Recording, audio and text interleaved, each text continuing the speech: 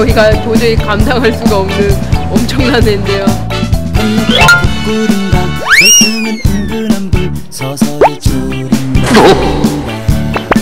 빙수용 미생얼은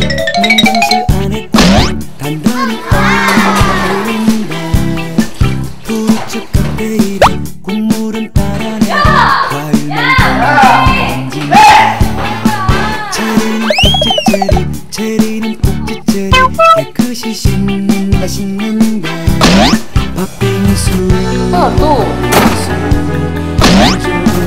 이게?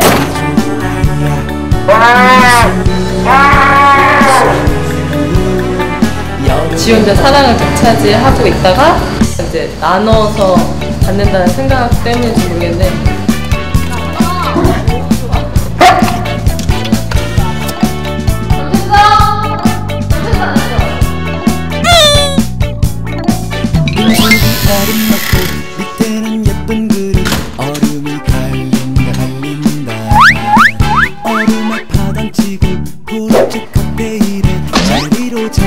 장식해 장식해. 팥빙수 팥빙수. 난 좋아. 진짜 좋아